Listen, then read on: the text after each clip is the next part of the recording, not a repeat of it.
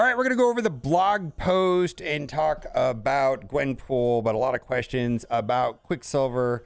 Uh, my initial thoughts on Quicksilver is to put Striker. We will see. And then also, uh, you actually can unlock him uh, for $25. Wow. I, actually, I was expecting him to be like a $100 unlock or something outrageous. So this is actually kind of good. If you want to do a three star, 50 bucks, uh, four star 90 bucks and five star 155 you buy all the offers. So that's how it breaks down. Also the in-game message kind of spells out how we're going to get shards quicksilver shards from weekly tournament rewards at gold one league and above. Top performers earn between 15 in gold one and 100 in grandmaster shards each week. Keep an eye out for more details. Now we're going to go over the Gwen Pool kit and then all of the weekly events. We're going to talk about hoarding and all that good stuff. Also, there was a message from community manager Archangel in my Twitch chat said uh, this team was always designed for room five. Masters of Evil was always meant for room six. Darkhold just proved to be so good, so they said nah when room six was adjusted uh, the first time, and then they also mention that a little bit here in the blog. It's it's it's not even like they're hiding their intent at this point. And and part of the issue I have is that they changed the room bonuses to room five and made it really difficult for the last couple of weeks. And it's very clear that this team is, you know, they created a problem, sell a solution, and and so a lot of people are going to jump into this team because they want a solution to room five, but that is just a temporary problem because the room bonuses. And how long is that room five going to be that way? And then are they going to do this? Create these really weird, ah, put aim minions in room four and give them 1000% defense and damage and focus and resistance, unless you use the new, new, new, new Warriors, not the new, new Warriors, the new, new, new, new, new Warriors for a couple months. You know, they're just going to keep selling us teams through these room bonuses. All right, let's get to the blog post. The new, new Warriors, as opposed to what I was talking about, is the new, new, new, new Warriors. Very different. You're all familiar with the new Warriors, but today you're going to meet the new, new Warriors. Fresh faces include newcomer Firestar and the newest member Gwenpool. This five character New Warriors team will be Cosmic Crucible Offense Specialist, and I don't know if they're going to be that good outside. We will find out. Outside of Cosmic Crucible Possible, the tags have levelly lean into that. With Quicksilver entering the Cosmic Crucible tournament rewards very soon, you want to build up the new Warriors to ensure you're standing atop the Cosmic Crucible tournament rankings each week and earning the most Quicksilver, Quicksilver shards as possible. Oh, this this paragraph right here, and and I'm not going to give a lot of commentary on this. Well, that's not true. That's not true. Let's just read it. Similar, how the Masters Evil possess the tools to dispose of the Wakandan teams, but not your Darkhold. You can't. How dare you use your your highly upgraded Darkhold? The new Warriors combine skills to make them the perfect squad to take down the lethal Tangled Web Eternals combo who combined with the Room 5 rules, temporary rules, have been the cause of nightmares. Yeah, you think? You're welcome, is what they're saying. We we we, we created these these temporary Room 5 rules and and they acknowledge that it's been giving us new nightmares, but don't worry. Scopely is going to do us a favor and sell us a team to fix this problem, this temporary problem. And if you don't buy it, you're not going to get enough Quicksilver shards. And then you won't get enough Nova. See what they're doing there? And although the new Warriors will be the key to knocking the Tangled Eternals team down a peg, there'll be a strong Cosmic Crucible squad, even away from Room 5. Okay, fair. All right. Even away from room five, let's take a look at Firestar and Gwenpool, who are essential for countering the Tangled Eternals. I mean, they're just straight up saying that. Uh, right here, let's go into it like um, Uh, Firestar, high damage and focus stats make her a powerful blaster, but her charge mechanic allows her to shut down the teams that abuse speed up. Her passive ability also grants herself and new warrior allies an additional 50% accuracy, which will help you bypass Spider Weaver's accuracy mechanic when allied with Gwenpool. Okay. And uh, Gwenpool looks like she's going to actually uh, make um, Deathpool quite a bit better. Uh, well, there's giving her extra charges. So, uh, Deathpool can do that ultra kill more frequently, which is kind of interesting. There might be some uh, way of that being used outside of Cosmic Crucible, but it, they they give more charges. Um, Gwenpool is a brawler for the New Warriors and also supports the City trait. Her high health and resistance stats make her a durable brawler who can dish out punishment as well as take it. Uh, Gwenpool is the battery for New Warrior allies who have the charge mechanic Deathpool and Firestar, allowing Deathpool to use her instant death mechanic and give Firestar a free attack each turn. All right, we're going to go down to the passive first, and then we're going to work up to the special, then the ultimate, and then we'll talk about the basic and the safety attack, and then we'll talk about possible options for uh, ISO 8. Probably going to be Striker or Raider, but I'm thinking Striker depending on how her speed works. On spawn, Apply plus one evade up to a maximum five for yourself and all new war allies. But in Cosmic Crucible, have two evade up to a maximum five for self and new warrior allies. So there's Cosmic Crucible. On chargeable new warriors ally turn, give them plus one charge up to maximum five to that ally. So that's going to be useful for for Deathpool, right? For sure. On on Cosmic Crucible offense, apply an additional plus one charge up to a maximum five to the ally. So she, you know, Deathpool's going to pop off a lot quicker than she was before and do that insta delete move, which does like 19 million damage or something like that. Okay, cool. Uh, when this character drops below 50% max health, if this character has taunt and she has a taunt mechanic on her special, heal for 40% of this character's max health, gain gain stealth, and clear taunt. Uh, so that way she can like take some damage and then go invisible. And, you know, it's kind of nice. Uh, gain 50% armor. New warriors gain 50% armor. And then on Crucible offense, again, a lot of max health and uh, more accuracy. So that is what it is. Now let's go to her special because that's going to go off first. And uh, where we got that right here. Uh, so this is going to pop up for 7 7, tech, which makes her kind of potentially not that useful in raids. We'll have to see. Tech primary target for damage and chain uh, to four adjacent targets. Flip three positive effects to negative effects on each target. Gain taunt apply three deflects to self and all new warrior allies. And then on Cosmic Crucible, she will flip stealth on each target. So that way, uh, which is going to be very useful in room five against, uh, you know, the, the tangled webs, right? Because they get stealth. Uh, gain immunity. Fill this character's speed bar by 70%. And, and, and this is only on Cosmic Crucible offense. So that means she's going to do this and then immediately go into her ultimate or very quickly after that because Gaining 70% is, is monstrous, right? Gained 1000% extra focus for this attack. This attack can chain stealth targets. Counterattack breaks the chain. If this character has three or more new warrior allies, this attack cannot be counterattacked. Now, rocket jump. So this is, you know, she's going to basically uh, turn one special, gain 70% speed bar, go right into her ultimate, attack all enemies for damage, clear all negative effects from self and all new warrior allies, and then only in Cosmic Crucible offense apply safeguard, defense up, speed up to self and all new warrior allies. In Crucible offense, characters killed by this attack cannot be revived.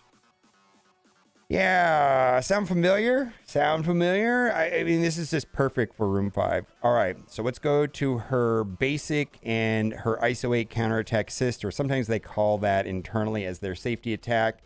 Uh, clear all barrier on the primary target. If the primary target had barrier, barrier yourself for 30% of the character's max health. Primary target denied barrier, instead barrier itself for 15% of this character's max health, and then attack for uh, damage, apply defense up for two turns to a random new warrior ally that does not have defense up. And it looks like the safety ISO 8 counter attack assist will do something similar. So, what's interesting about it's going to depend on who goes first on this team.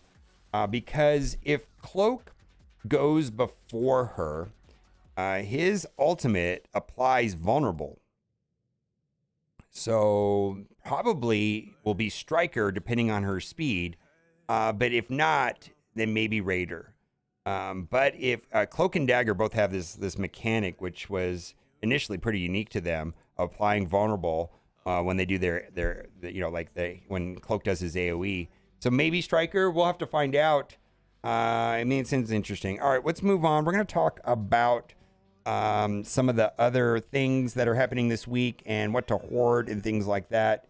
Uh, Firestar launch will happen on the 28th, and that's where you well that's that's when you can buy the offers. Uh, and then of course when you when you buy the offers, you get those I don't know C minus offers for gold training uh, training modules.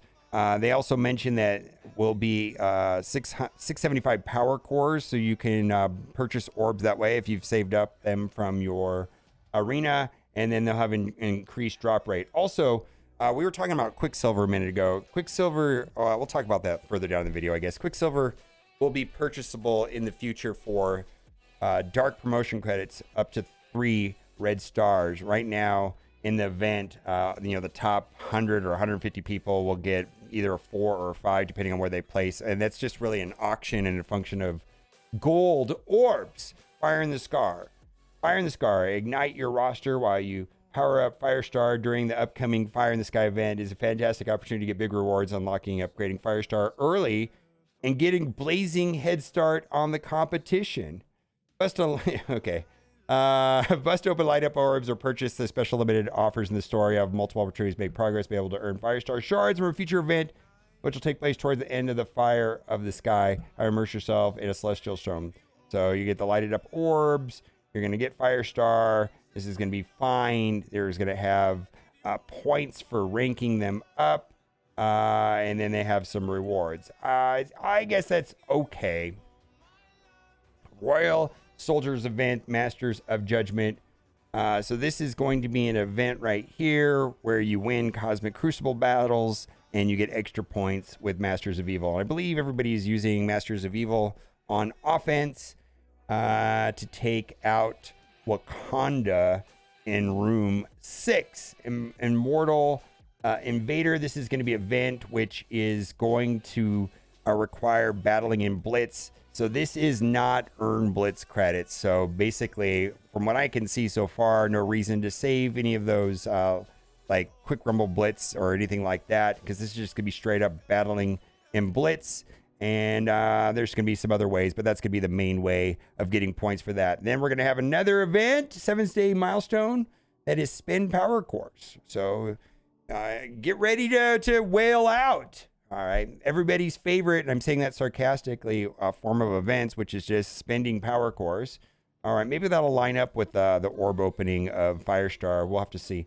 Uh, new recruits, Quick Rumble Blitz on the 28th, which will be Cloak Dagger, Deathpool, New Warriors. Uh, th- this is probably the best part of the entire blog. Stay with me. Coming upcoming with a new season of Alliance War on April 23rd, which is uh, what Sunday.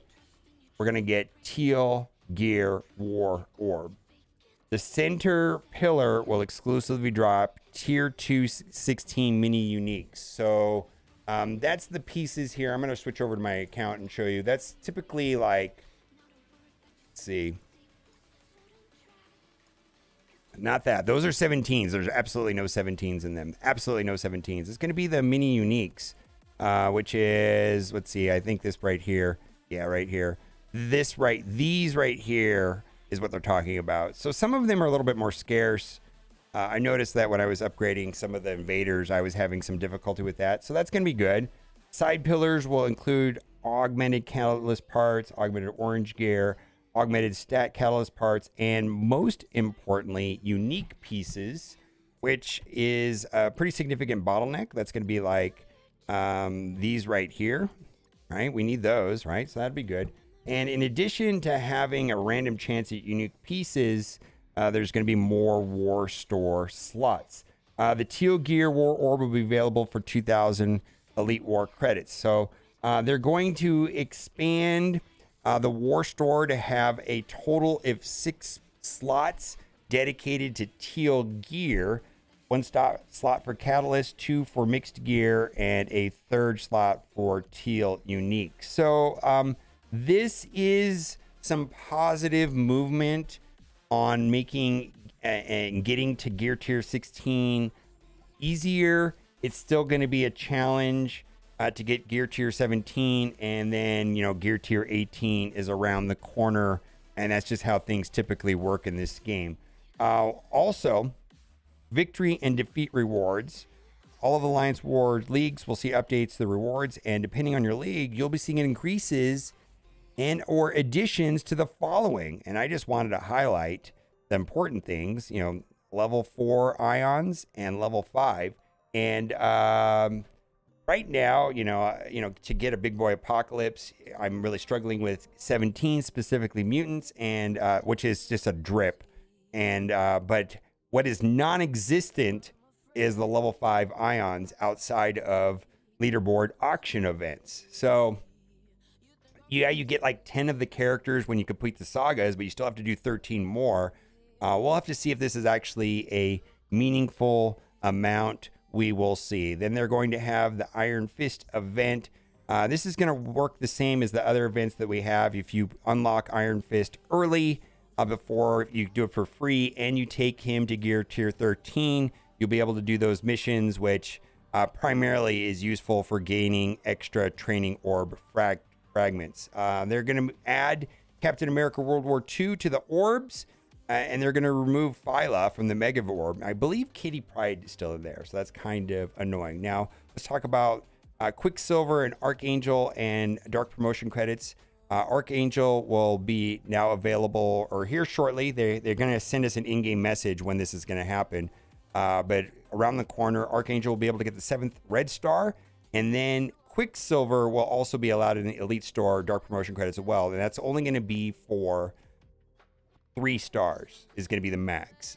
Three red stars. The four and the five is in that leaderboard auction event that's currently running right now, which is tied primarily to like earning raid credits and opening gold orbs. Good luck on that. I think only a fixed number of people, like 100 or 150 people, are going to be able to get um, a three or four red star on Quicksilvers. All right, Free Claim Friday. Web store was running super slow today, but there were several items in the web store. You want to definitely go there on Friday because they have more stuff than usual.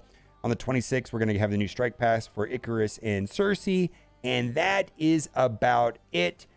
Friendly reminder that all the information in this blog is subject to change before going live in game, and I am not a betting man but I would bet on money that something is going to be wrong for sure. Uh, what do you think about Quicksilver and all this stuff? I'm pretty excited. Uh, I, I'm hopeful that there'll be some use for new new warriors or whatever they're called outside of Crucible. Um, nothing has changed on my opinion on Room Five, and uh, you know a lot of people have said that this is worse than what they're doing in Galaxy of Heroes with Datacrons, you know, those are temporary mods. I mean, now we have temporary room bonuses so that you have to buy a team to beat a room. And then what? Then the room bonuses go away and hopefully the team is still useful elsewhere. I don't know. It's kind of weird. Let me know what you think in the comment section. As always, thanks for watching. Bye for now.